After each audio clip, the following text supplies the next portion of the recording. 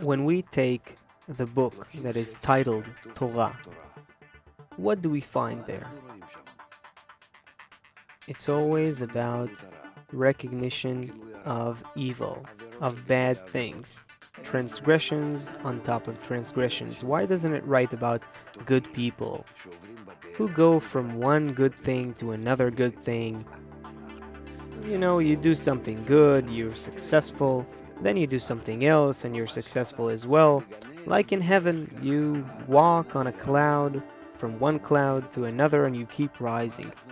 But when we look at the story, it's horrendous. This is why King David loved the Torah. Although he attained perfection, even in perfection, you always have to look for what to add. Because if a person doesn't add, even in the world of Ein Sof, at the end of correction, it's death. Because life is revelation, revelation of evil. And the correction, so we have to get used to it.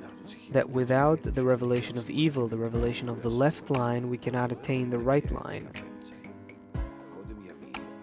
and you have to start from the right line. So all the activities we are doing and our conventions and so on, it provides us with the strength of the right line. It reinforces us, and because of that, we come to the revelation of the left line. Suddenly, something happens with a friend or with the group in general. We start seeing bad things happening, but that is towards the next degree. So we have to be happy about it because we were awarded with recognizing the evil. And we're not like those called landlords, meaning that we cry about the, this. We understand that it's our nature becoming apparent, and now we have to correct it and rise on top of it.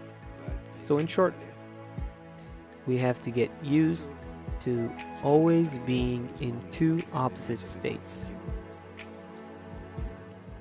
And everything bad that appears corresponds to the light, to the good, and always maintain these two edges, two reins.